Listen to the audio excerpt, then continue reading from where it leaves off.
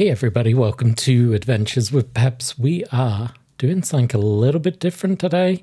I've been noticing that my Saturday videos don't do very well, and I comprehend why. It's because you got the big companies like Games Workshop doing the special releases, you got those people with the brand new releases that good on them, they're absorbing all the excitement of that day. And I've noticed that my stuff is anything I post on Saturday takes a few days to build momentum.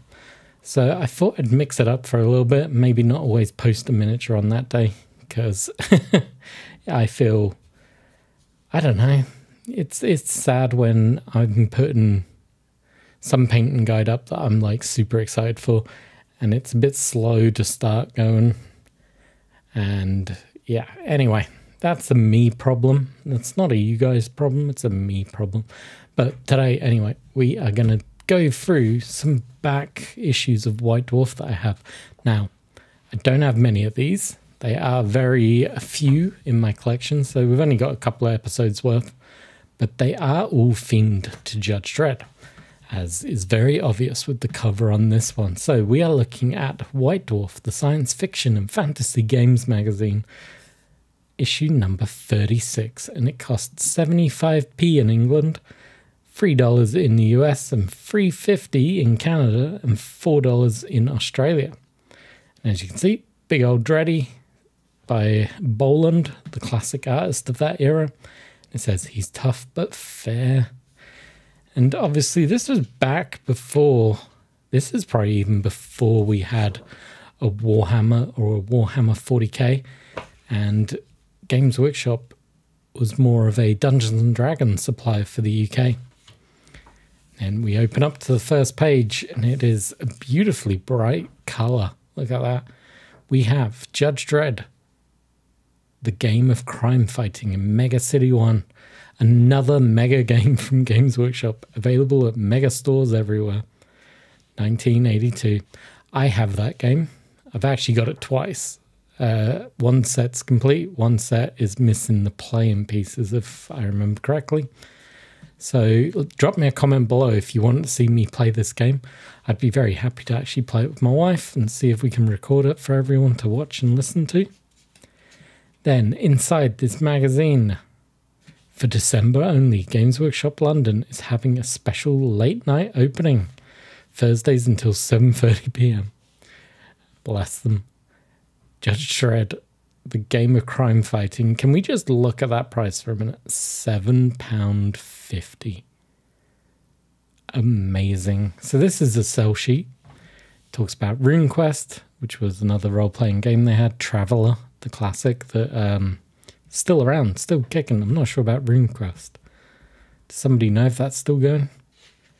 Uh, then, of course, a ton of Dungeons and Dragons. Talks about mailing club and a mail order. So cool. Looking back at like 1982. Then we have a little advert for the City of Sorceress. Dare you tread the streets of the City of Sorceress? Wow. Look at that. A game of skill, low cunning, and sorceress combat for two to four players. Easy to play, yet marvelous to behold. Then we have what we got here Card Warriors standing pads. So this was a company that just made little character cards for you to play your games with. Loads of uh, adverts. Computer gamers. Send now or ring your games guide, price list, and details for group visiting services. I have no idea what that would have been advertising. Um, then we've got the Game Center. Look at that, amazing. Now with air conditioned comfort from the best stocked dungeon in London. The largest selection of games in the world. 22 Oxford Street, London, the basement department, and the 52 Western Road, Brighton. Wow. That is. I'm just love looking into the past at things like this. Ice Rolemaster Series. So, Ice did games like uh, Lord of the Rings role playing that was one that I can quite clearly remember. That's obviously an advert for them. a British magazine of illustrated humour. Look at this.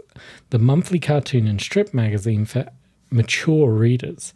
60 pages based on high quality paper, sorry, printed on high quality paper, 20 of them in full colour. Each volume contains a free full colour poster and costs only 125 or $15 for 12. By mail, plus get an extra book for free. What is this? I don't even know what the name of the magazine is. It doesn't say.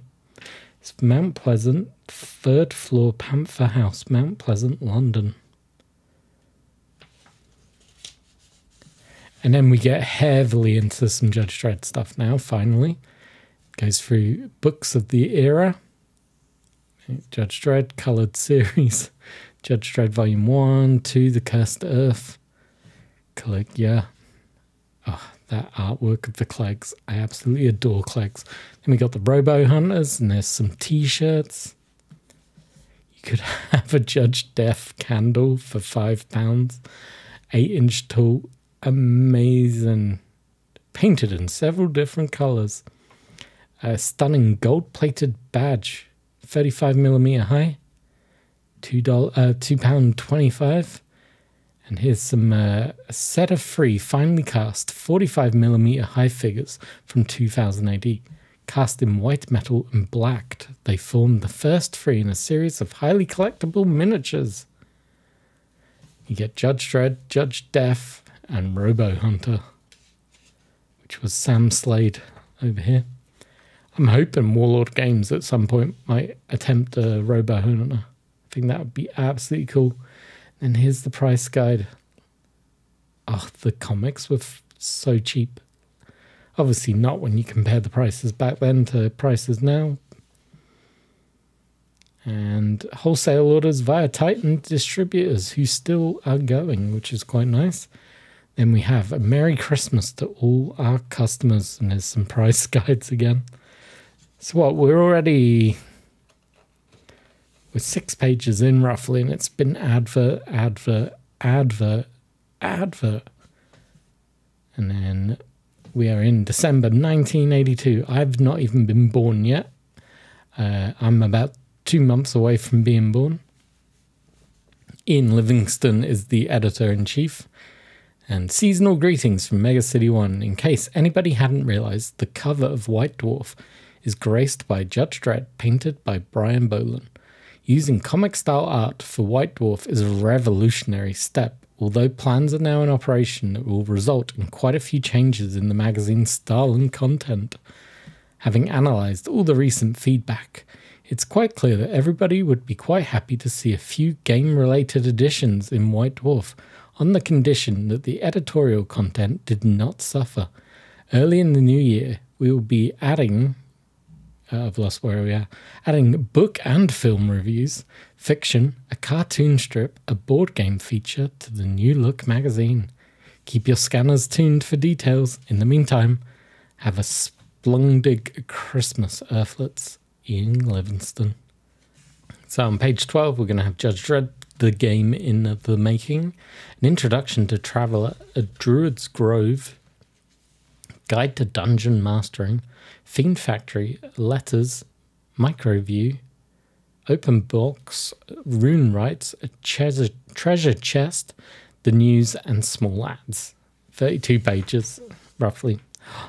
And then I just look at this beautiful artwork. The A Easter egg is just, mm, yes, I love A Dredd. So it's talking about obviously the new game, talks about the editor being a fan of Judge Dredd and how the game's going to actually play out. Beautiful game. It's quite nice. A nice two page spread all about it.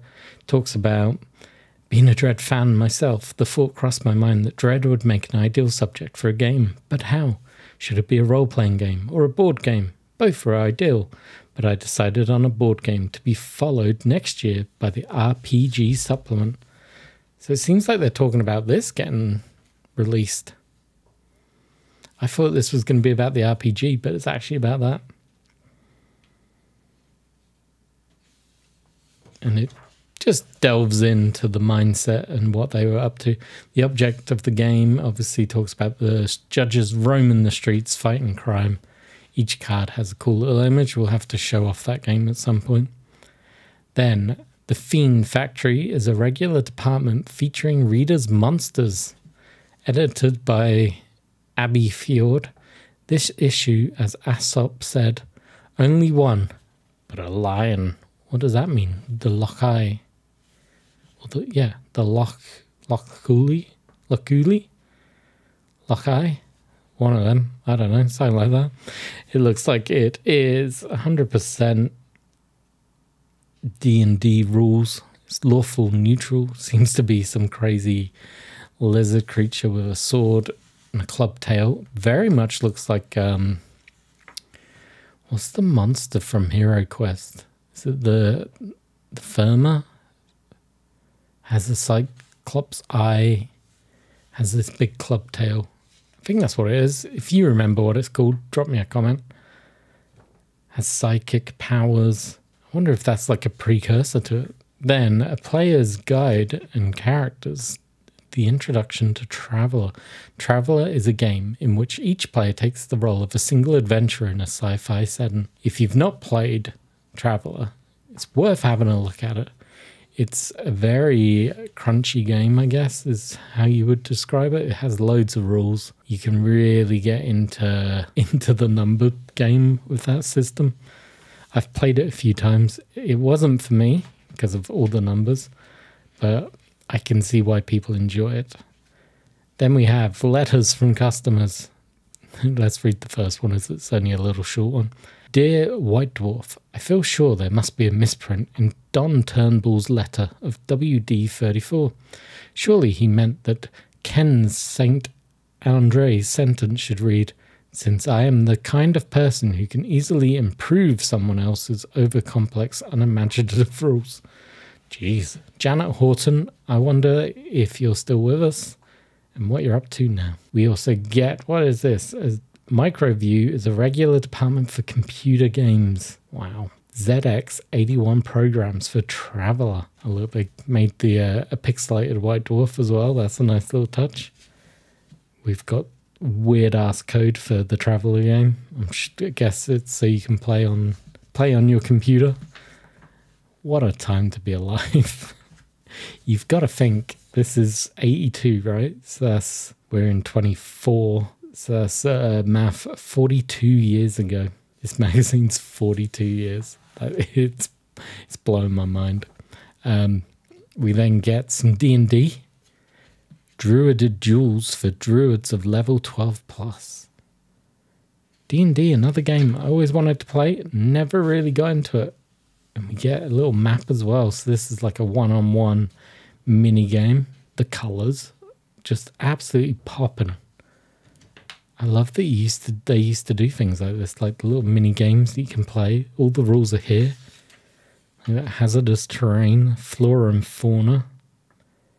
You roll to see what type. Oh no, it tells you what's in each bit. So silver birch, common yew, common ash, English oak. It's all there. It's all there. And then we're into open box, which I believe goes through each of these items. So the first one is talking about the Warlock of Firetop Mountain, Fighting Fantasy book. Great book. If you can find a copy, get a copy, play it, enjoy it. Otherwise, I think you can get it on Steam and it's all done electronically for you. But it talks a bit about that and how the rules work. Troll Pack, where we that's this one by Chaosum. Chaosum? Is that how you're going to say that one? Still exists, that company, I do believe. I think they were well known for doing Cthulhu back in the day. Uh, it's Secrets and Adventures for RuneQuest, so it's an adaptation or expansion, not an adaptation, an expansion for that game. Then we have Pirates and Plunder, an excellent new role playing game, a company previously noted for good board games. The game can comes with an attractive illustrated box containing basic rules and advanced rules, a book covering further adventures, and a set of eight double sided maps.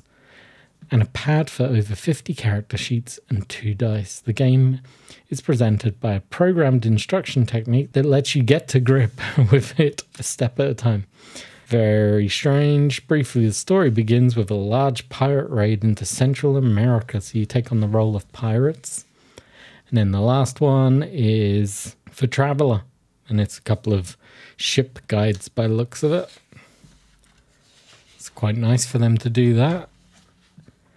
Then we are back into a RuneQuest with some additional rules that you can have.